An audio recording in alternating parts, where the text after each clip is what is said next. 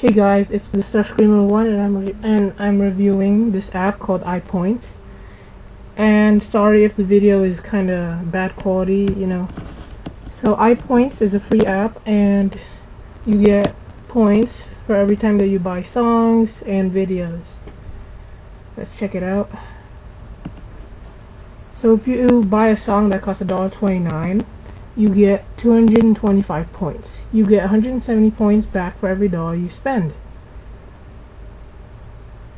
You also get, you know, points if you buy or rent videos or movies. You can redeem your points for gift cards, for gift cards, apps, PayPal, you know, Amazon gift cards, Target gift cards, Walmart, 25 bucks, Visa gift card, iTunes. So yeah, let's check out the prices for these apps. Well, it doesn't say it, so.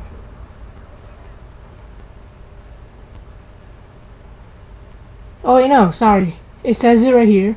If you want, like, an app, you can redeem your points and it costs 5,000 points for an app.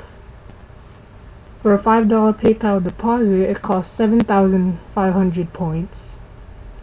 You get uh, $10 gift cards for 35,000 points.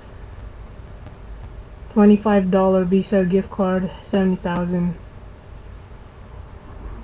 Yeah, those are like the current rewards they have, but I'm pretty sure they'll add more it's not the best app. I mean, it's it's it's kind of bad, you know. If you like divide 170 points by like uh 5,000, it costs like uh you have to spend like I'd say over 100 points maybe. But I'm not sure though. So it's a great app for those of you who buy songs, you know, on iTunes. So it's nice